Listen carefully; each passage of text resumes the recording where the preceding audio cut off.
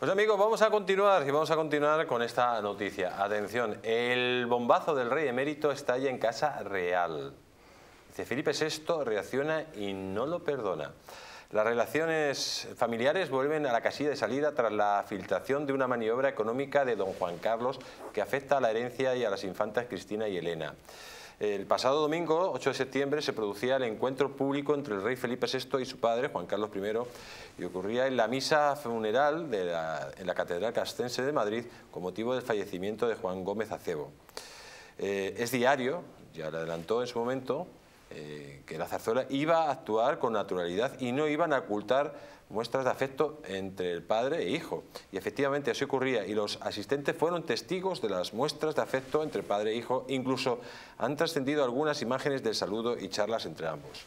El perdón de la zarzuela y la normalización de las relaciones familiares tuvo testigo gráfico el 31 de agosto cuando el rey Felipe llegaba a la boda de Victoria López Quesada en compañía de la infanta Cristina.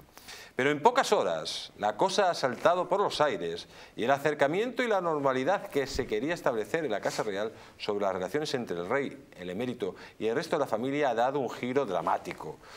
Vuelta al pasado, enfriamiento y distancia total de la familia real con el emérito e incluso las infantas Elena y Cristina.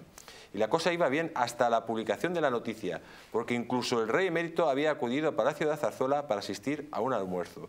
Todo estallado por una información que publicaba el pasado lunes el Confidencial y que afirmaba que el rey emérito ha creado una fundación junto a sus hijas en Abu Dhabi, con la que, además de promover sus casi cuatro décadas de reinado, busca poder transferir de forma más sencilla su herencia a las infantas Elena y Cristina.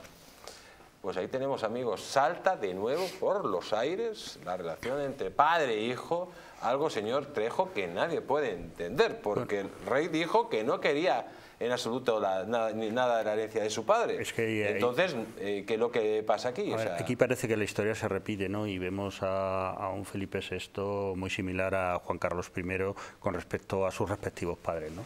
Yo creo que desde este punto de vista, y yo tengo más capacidad de análisis de los últimos 25 o 30 años de, mm, de, la monarquía española que de los anteriores, aunque bueno, uno ha leído bastante y conoce lo que pasó entre don Juan, don Juan y el propio Juan Carlos I. Es inentendible si realmente se ha producido esta pataleta por parte de Felipe VI, ¿no? porque él en 2014, cuando accede al trono y su padre, su padre renuncia, él es el primero que dice que, que no quiere saber absolutamente nada de la herencia de su padre.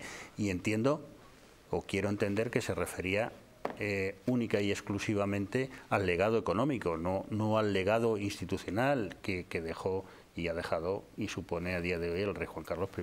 No tiene ningún sentido. ¿Que haga el rey una fundación? Pues a mí es que me parece lo más normal del mundo.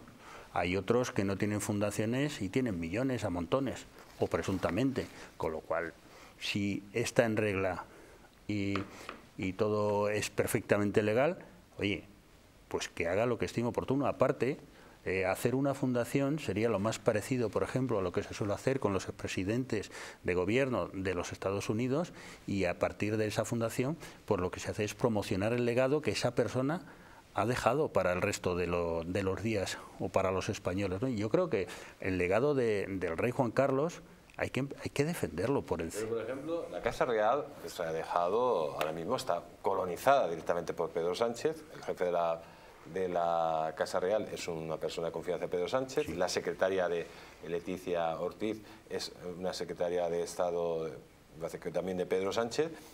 Em, no sé, es que parece que le debe dinero eh, el rey emérito a Felipe VI, cuando lo único que le ha dado es la corona de España. Sí, le ha dado la jefatura de Estado y además se la ha pasado, incluso yo pienso que antes de tiempo. Es más, ahí aún sabiendo lo que, lo que estaba por venir, yo no, yo no, hubiera, yo no hubiera dejado la corona ni, ni, de broma. ¿no? Eh, es inentendible, es inentendible cómo un hijo puede, y, a lo mejor estas palabras que digo eh, son, son un poco gruesas, ¿no? pero puede llegar y, que me disculpen, a, repudiar casi a su padre, ¿no? Porque el hombre va y viene a España y es que no puede pasar ni por su casa, no puede pasar ni por su casa. La, casa del rey Juan Carlos ha sido el Palacio de la Zarzuela toda su vida, toda su vida. ¿Qué español de a pie conocería el Palacio de la Zarzuela si no hubiese sido la residencia oficial de Su Majestad el Rey Juan Carlos I? Absolutamente ninguno. Podría pasar como cualquiera de los palacios que tiene patrimonio nacional. ¿Alguien sabe dónde vive el rey Felipe VI a día de hoy? ¿O dónde tiene el, el despacho oficial? Obviamente vive al lado de la zarzuela y el despacho oficial lo tiene en el Palacio de la Zarzuela, en el domicilio de su padre. No sé, es inentendible, sinceramente.